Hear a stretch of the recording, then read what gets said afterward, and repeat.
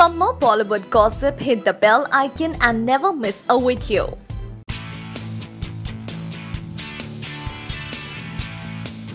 सलमान खान के international tour the bank ने दुनिया को हिला दिया था और टाइम टू टाइम इस टूर ने सभी को एंटरटेन किया था अब ये टूर डोमेस्टिक शोर्स पर परफॉर्म करने वाला है और वो भी दिल्ली में